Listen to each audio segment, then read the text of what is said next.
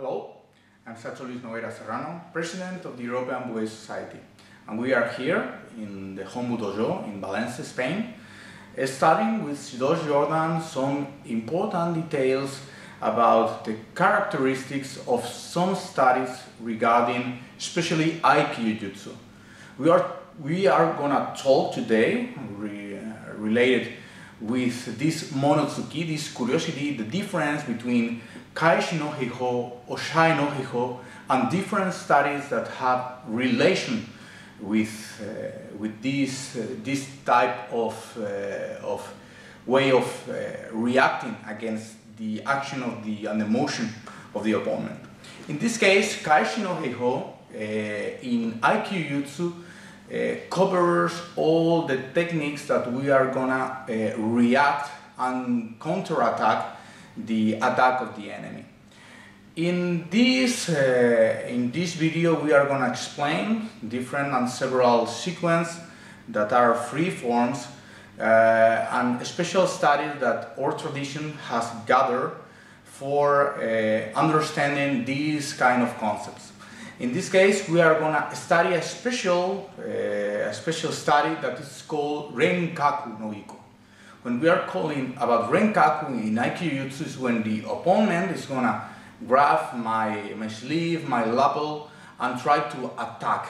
In this kind of study, he will try to, to throw me and I will use my hara in a harage way and uh, explain some kaeshi no iko forms of uh, defense. Then, in this way, let's start with some special uh, throws that Oscar San, Dojo Cho for, for this school, will attack me and I will defend and I will explain the concepts and details of these uh, so much interesting characteristics of this study. Then, please, Oscar San, onegaishimasu.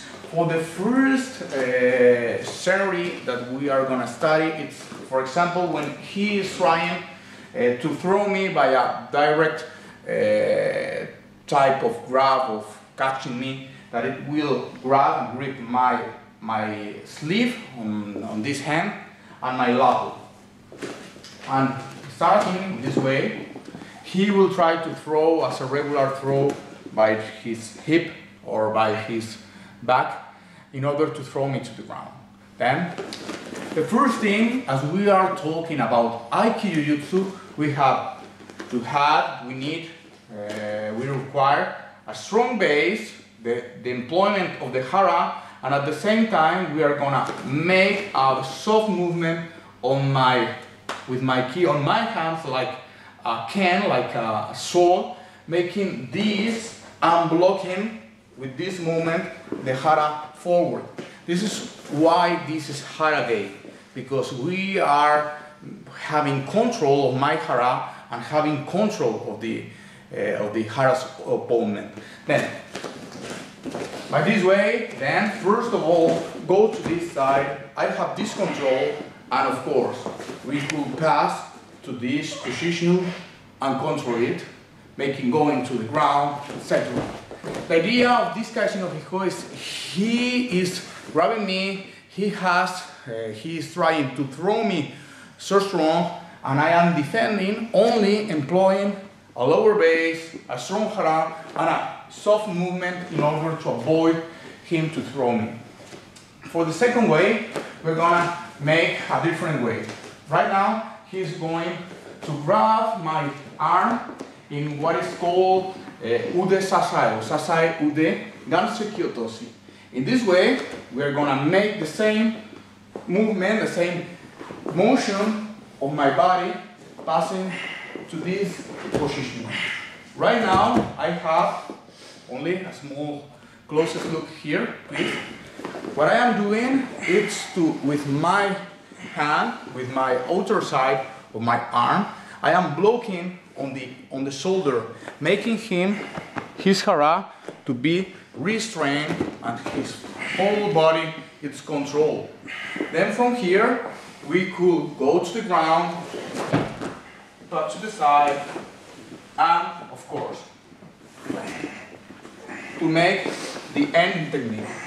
But the key here is to understand the, the first step is to say to pass to the side and make this control with my hara blocking and he is in a position that he could, uh, he is not able to run away.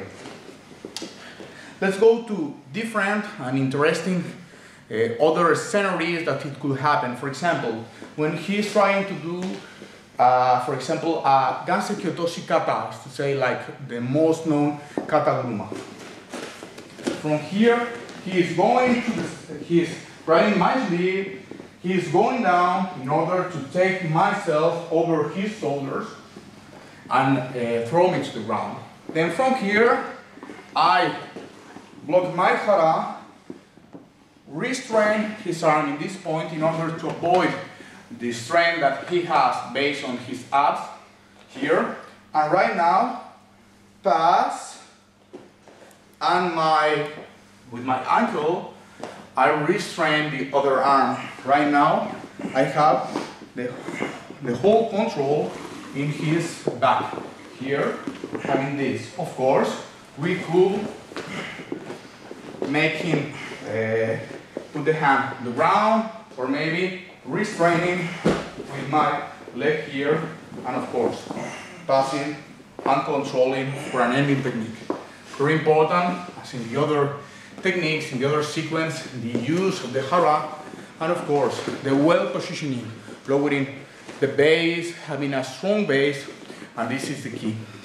Let's go to uh, so much interesting sequence ending restriction that surely will amaze you because it's one of the most characteristic ways of Susumu Motoshima explained in the Ogawa Sensei school and we have received by Shido Jordan.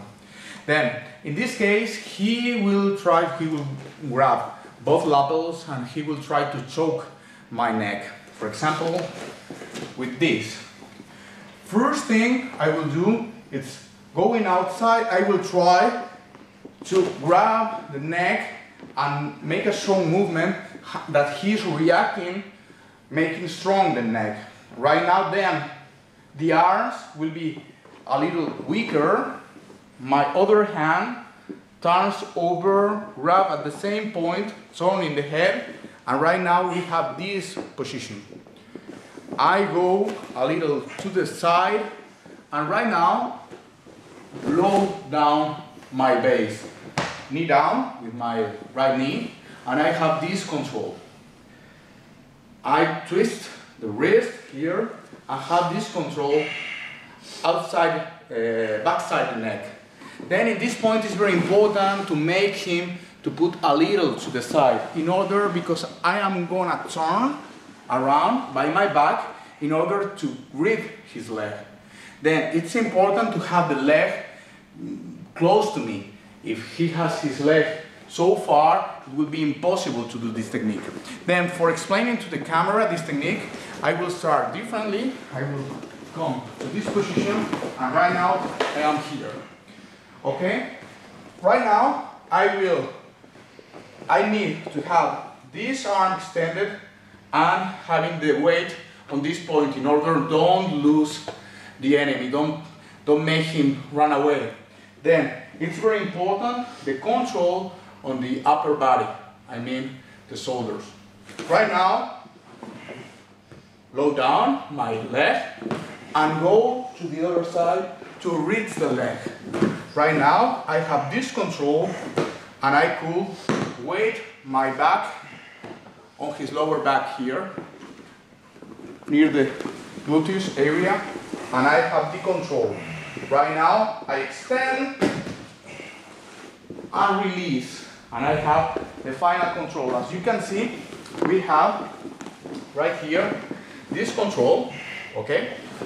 This control. We are lowering my weight on his back, and here we have uh, like a circle.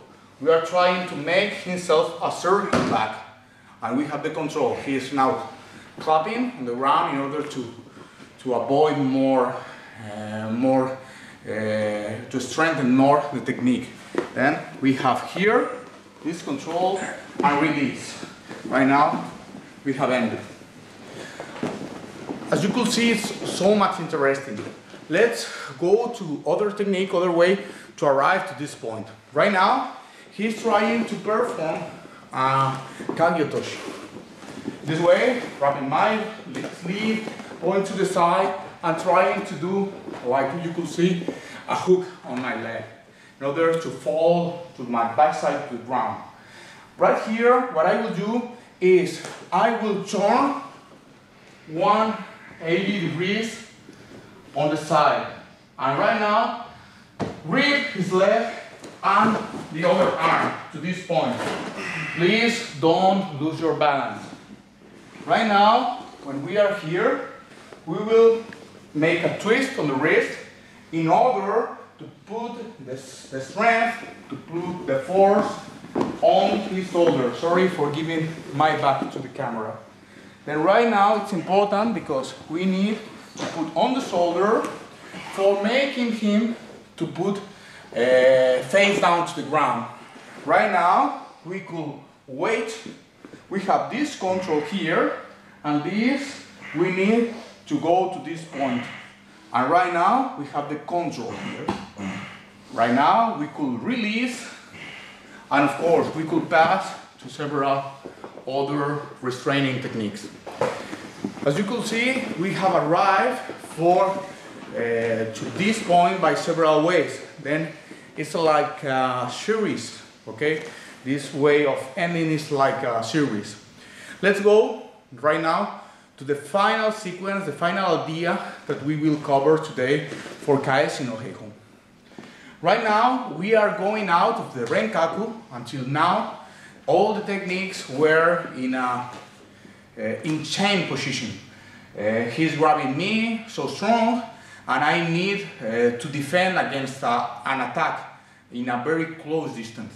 Right now, he's attacking myself in a makuchi. What I will do is right here, making him to low down his position. One more time right here, we have this and this control. I grab his neck and turn the head in order to expose his hara, his abs, upside. Right now, when I have him out of balance, I put to my side and restrain his head downside. Right now, with his, uh, with his neck uh, bended, I could restrain both arms, closing and having this control. Now to the side, we could uh, make him to sit, and right now, to the side. And of course, we could press him with my knee, kneeing down in his shoulder, in his back, we have the control as in other ways to end the technique. Then, uh, in order to summarize what we have studied today, we have covered several sequences, several ideas, in most of them starting from a Renkaku no Giko position, is to say, the opponent is grabbing my lapel and my sleeve and trying to throw by a, a hip throw or by other type of throw, maybe a shoulder throw, etc. Then, starting from this position, uh, we are gonna use my hara in order to have, uh, of course, an elegant position, but at the same time a powerful position in order to avoid this kind of attack. And making the kaeshi, say, the returning technique. Some masters uh, say that this school also understood as osai no heiho. Osai is to control then what we are doing is a strategy, but more like a soldier way of making the control. And some other masters says that Osai no Heiho is not in that way. Osai no Heiho, it's for example, when I, for example, try to attack, maybe from one attack, and after this, I have the control, I cover other kind of restrict, restricting techniques in order to, to end the enemy. And this will be the idea of Osai no Heiho. As a last curiosity for today, we need to understand what is uh, special techniques from the season that cover the idea of when someone is restrained, how to go out. And this is called uh, especially Osai Nigeru or uh, Taiho Nigeru. It's to escape from situations that someone is, of course, is covered, it's maybe uh, being so much restrained. Then, in order to, to understand what is happening here, the idea is, for example, when he is restraining myself, for example, in an ending technique, maybe he performs Ude Osai, and I am going to the ground, I am ending the technique, for example, he is having this control, of course, not arriving to the end, because when he reads the final, the end, to say, when he is making my, draining my energy down, it's impossible to escape. But of course, in the transition, arriving to the end, we have some gaps. And in these gaps, when he is completely uh, clear that he has the, the, the final restriction, we could surprise in that position, in that way. Then, for example, of course, when right now we are here, we could close and we have this. Right now, we have this exposed to myself. I recover my position because we are talking about Aikido and I have my knee blocking his knee here. Right now, I have the control and of course I could attack the ankle or pass to different restrict, restricting techniques that we have studied in other studies of Aikido Jutsu alone. Then, with this, we have covered several studies today. Kaeshi no Heiho, starting from Renkaku position or not, maybe some attack like Makuchi. The difference between Osai no Heiho and Kaeshi no Heiho. And at the end, only explain a little details about what is the study called Osai Nigeru. Thank you very much. I hope you have liked uh, this, this video and please keep watching and following us and thank you very much. Goodbye.